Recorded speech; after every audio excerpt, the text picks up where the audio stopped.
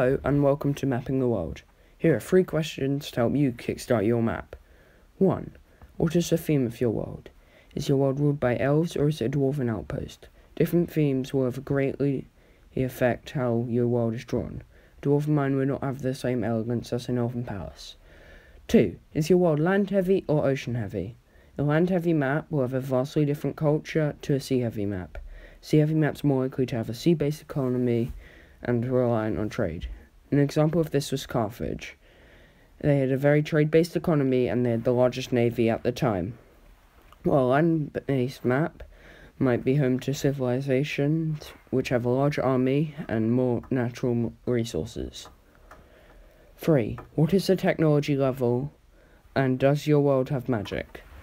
It is important to decide the technology level in your world before you start as a really futuristic world would not be using dirt roads to move around.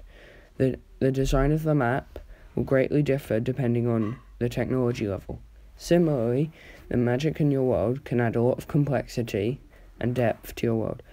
Or you can use it to explain certain landmarks or forks and rivers. Thank you for watching. Please subscribe and like if you enjoyed.